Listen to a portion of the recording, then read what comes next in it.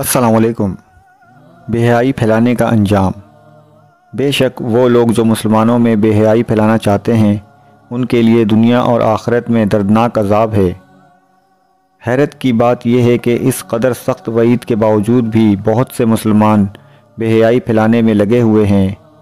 कोई गाने शेयर कर रहा है और कोई कॉमेडी और मज़ाया वीडियोस के नाम पर। इसमें न लड़के कुछ कम हैं, ना ही लड़कियाँ इनसे पीछे हैं।